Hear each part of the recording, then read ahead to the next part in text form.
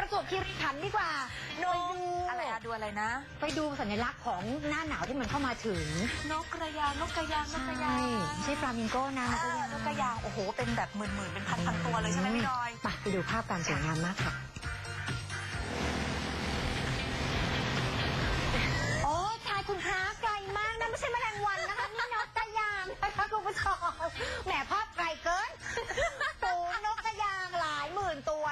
มบินอยู่เต็มท้องฟ้าเลย ค่ะ ตรงนี้พาดผ่านอำเภอหัวหินอำเภอปราณบุรี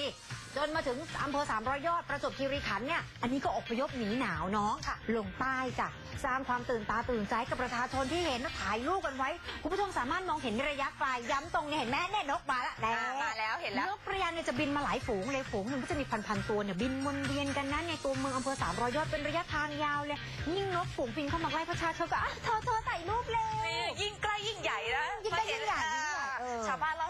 รู้สึกแปลกใจมากเลยนะคะค่ะเพราะว่าระหว่างทางเนี่ยคือเขาขี่รถอยู่ดีๆ แล้วก็ไปสังเกตเห็นนกจำนวนมากนับไม่ถ้วนแบบนี้ค่ะบินวนบินเวียนอยู่เหนือท้องฟ้าเป็นทางยาวเลยนะคะ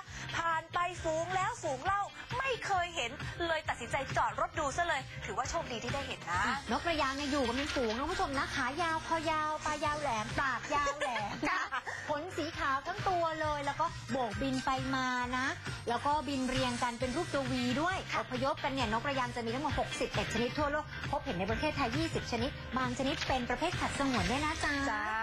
แบบนี้นะธรรมชาติของเขาคุณผู้ชมเก็บภาพมาฝากกันหนีหนาวหนีหนาว